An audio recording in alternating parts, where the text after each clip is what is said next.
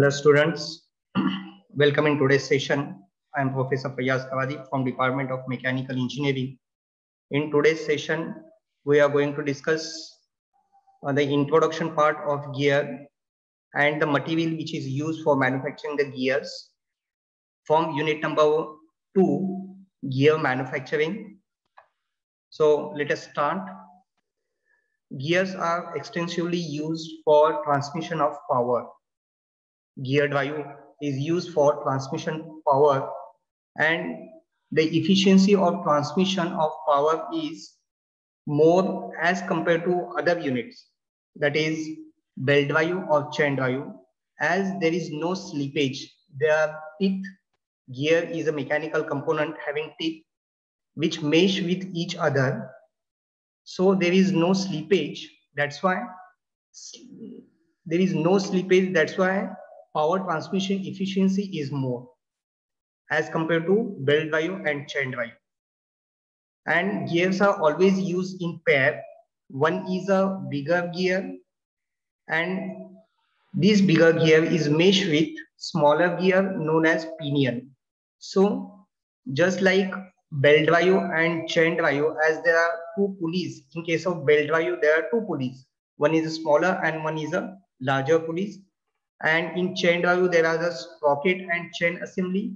One is bigger sprocket and another is a smaller sprocket. The same case happening here also for getting different velocity ratio. The size of both the gear in the gear drive is different. One is a smaller known as a pinion and one is a bigger diameter known as a gear so that you can transmit the power with different velocities ratio. They find applications in automobiles, gearboxes, oil engines, machine tools, industrial machineries, agriculture machinery, geared motors, etc. For better working, the gear should have the following qualities or following parameters. That is nothing but a robust construction, reliable performance, high efficiency, economy, and long life. The gear should be fatigue free. That means it should withstand the repetitive loading.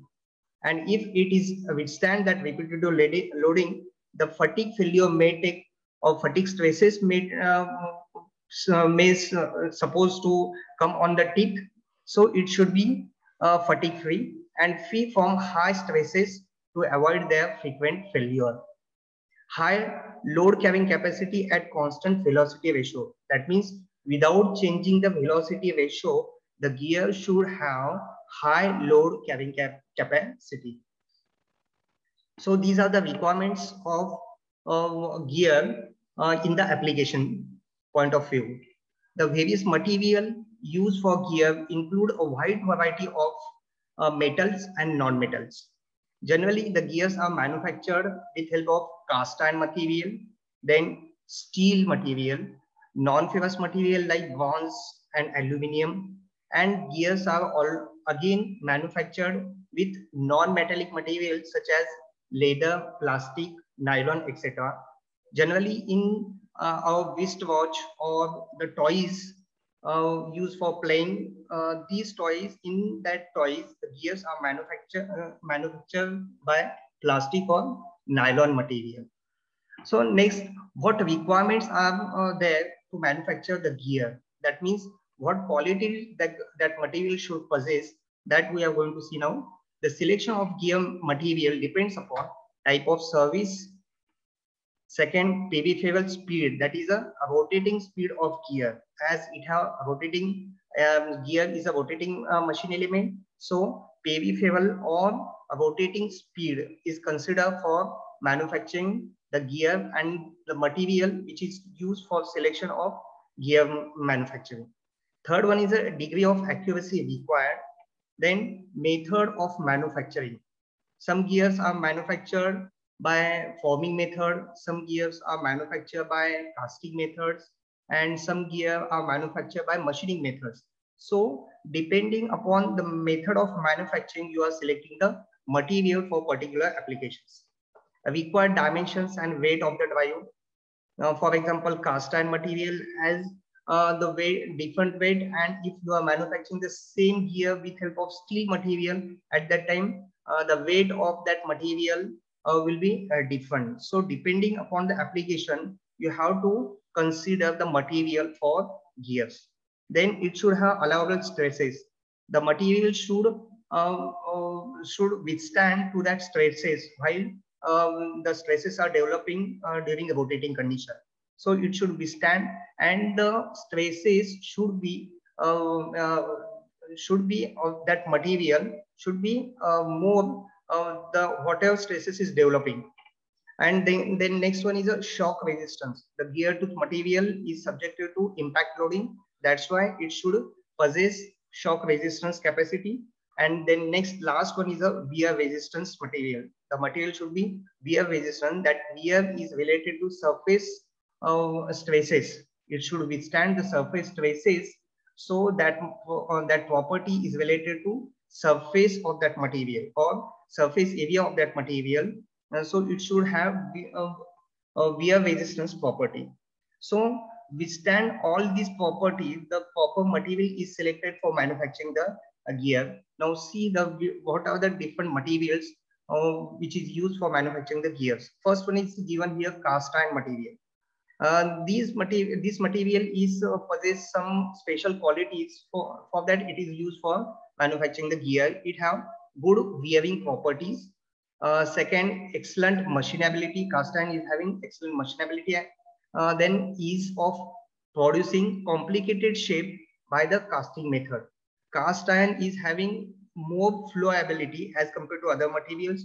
So due to the flow ability, the molten cast iron will flow into the mold cavity uh, uh, easily uh, in uh, small cavities also while you are manufacturing the gear by casting method. So cast iron is having more flowability. That's why cast iron is used whenever the complicated shape is uh, manufactured. Uh, second one is a steel material. It is sufficiently strong and highly resistant to wear by abrasion.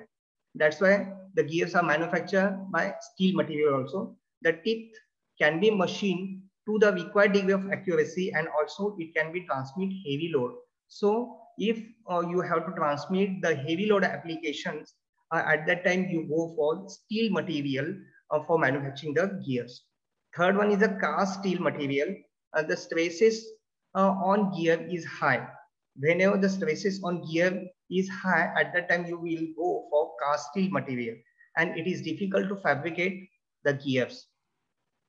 Next one is a plain carbon steel um, in which again that plain carbon steel is classified as medium carbon steel and high carbon steel depending upon the percentage of carbon. Um, in um, plain carbon steel, the percentage of carbon is 0.3 to 0.6%. So this material is having these properties industrial gear where high toughness combined with high strength and fatigue limiting bending and long life is your required parameter in applications. At that time, you will go for plain carbon steel material. So other than these, some uh, other materials are also used by using by adding some uh, impurities like molybdenum, chromium uh, for special applications. So other than these material, a wide range of material are used for manufacturing the gears. Okay, so at the end of session, the students, you can understand the uh, material for manufacturing the gears and the required properties for the particular applications of gear. Thanks for watching this video.